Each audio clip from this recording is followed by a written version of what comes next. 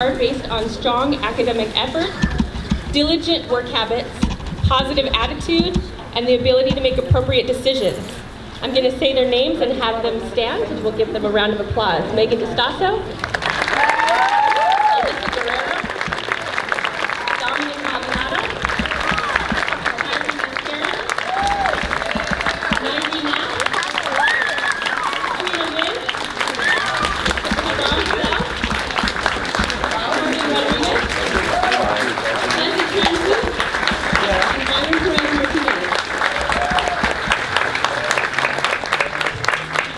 Thank you. You may be seated.